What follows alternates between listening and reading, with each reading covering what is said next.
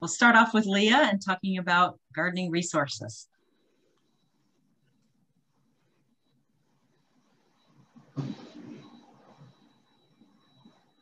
Microphone.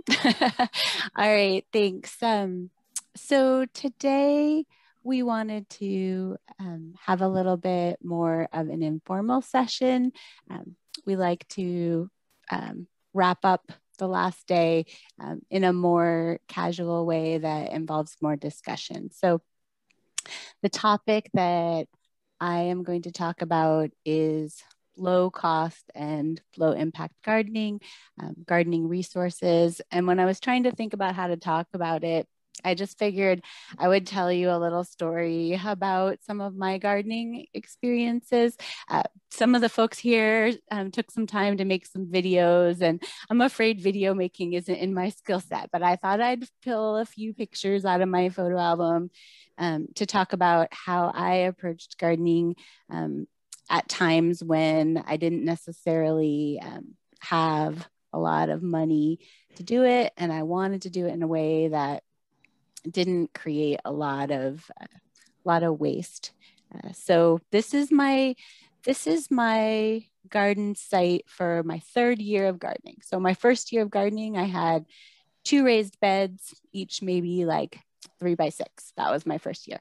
My second year of gardening, I had a garden plot in the ground that was maybe 10 feet by six feet. And then my third year of gardening, I moved into a new place and that had a big open sunny space and um, and that was it.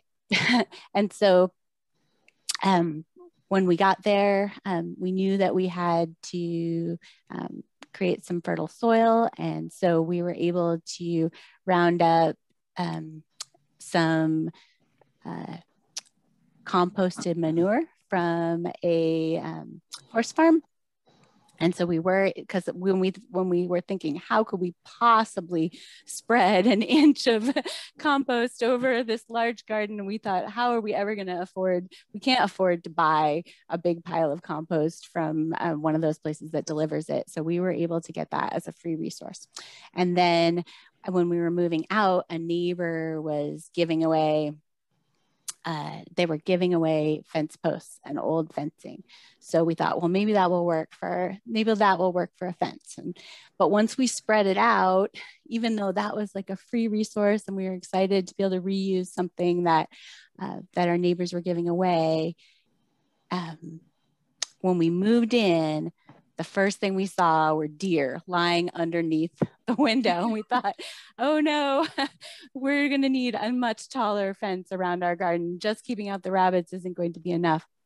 And when we laid out the fence all the way around the garden, it just wasn't tall enough. It just was only like five, six feet tall. It wasn't, um, it wasn't tall enough. And so at that time, there was a, a storm that came through and knocked down a whole bunch of trees and branches on a friend's property.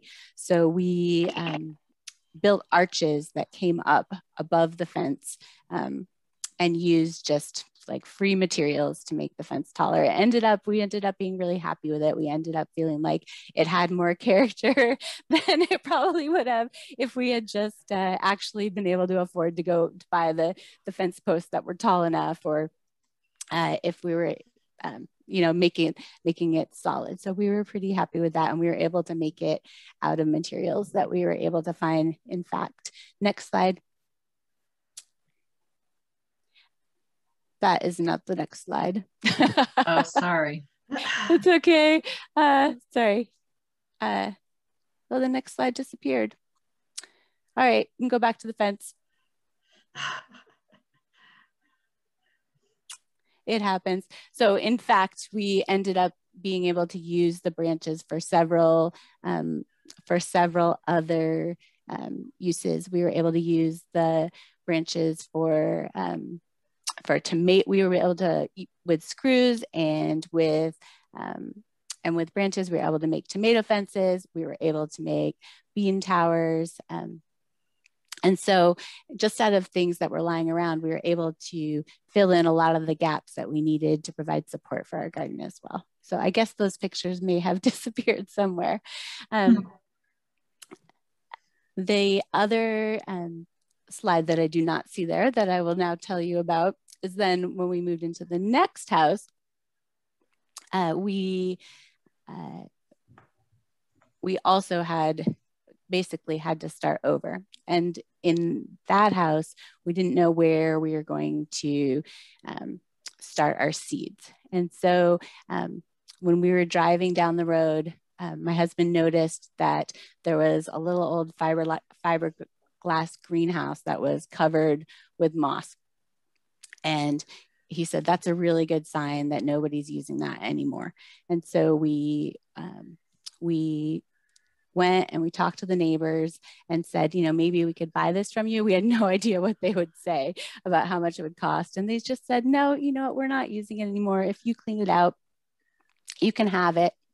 Um, so although they did, I I guess I can say this in uh, in this class. They did give us a little bit of a sideways look and wanted to make sure that we weren't doing anything illegal in there, which we swore we were not doing anything illegal.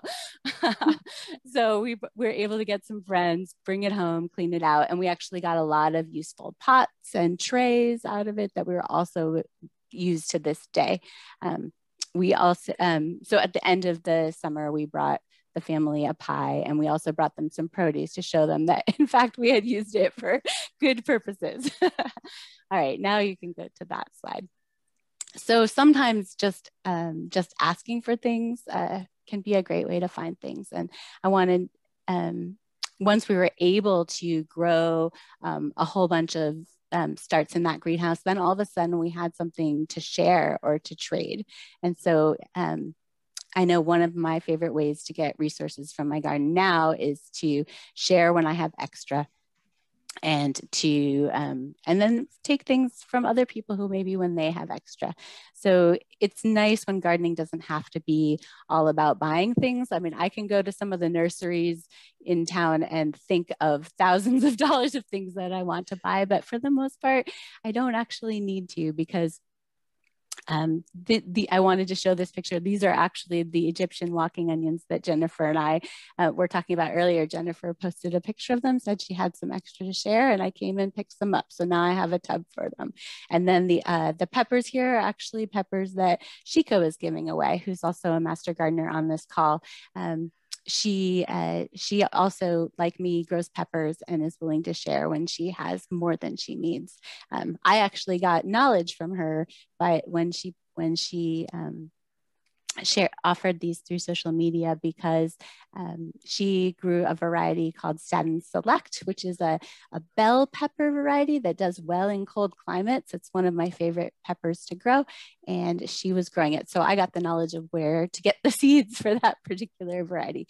So sharing can be um, sharing can be objects or it, can be plants or it can be your just your knowledge of how to grow a particular thing. And i think being part of a community that trades those things um, is a, um, a great way to um, to get what you need without spending money and also to build community through gardening which is one of my favorite things about gardening in corvallis. So uh, next slide uh, we, I believe in, um, we're able to uh, provide with, with you in your packet um, the Corvallis Garden Resource Guide. If you weren't, um, if you didn't get a copy there, it's also possible to download a PDF um, of this. So beyond the things that you can scrounge like me or that you can share and trade, uh, there are also a number of locations around town where you can um, find many of the things you need um, for gardening. So this is a great resource if you're new to gardening and you're thinking where to look, where to find things. Uh, the, the Garden Resource Guide